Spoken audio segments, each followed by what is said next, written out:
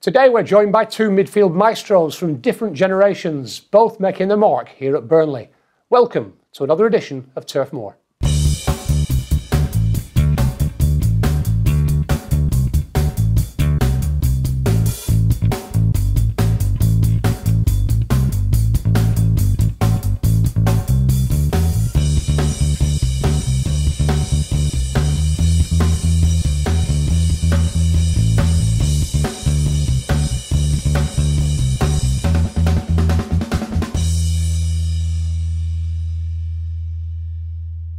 Yes, my studio guests today are former Clarets captain Martin Dobson and one of the current incumbents of the engine room here, David Jones.